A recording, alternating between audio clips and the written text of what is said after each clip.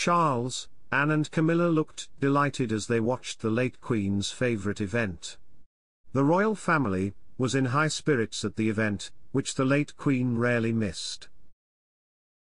King Charles, Queen Camilla and Princess Anne looked delighted as they attended the Braemar Games today in honor of the late Queen Elizabeth. Welcome to Royal Pancakes.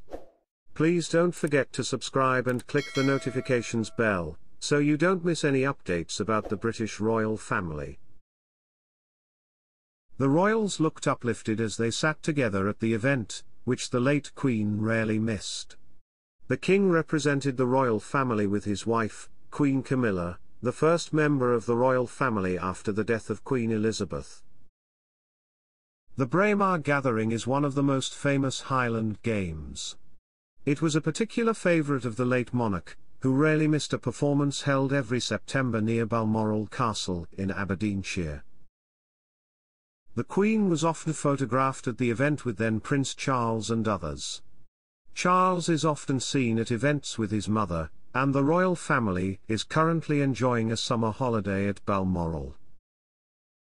The Queen is often photographed enjoying the event with then Prince Charles and the rest of the party. On Saturday, the King and Queen were joined by Princess Anne and her husband Timothy Lawrence. The four royals sat together to watch the contestants battle it out in front of the audience. King Charles wore a newly designed Charles III tartan shirt, while Camilla wore a Mr. Roy outfit.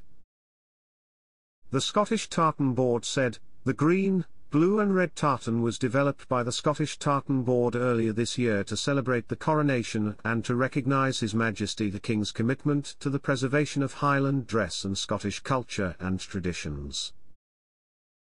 The unique design presented to His Majesty is based on the Balmoral tartan suit which dates back to 1850 and continues to be worn by kings and members of the royal family.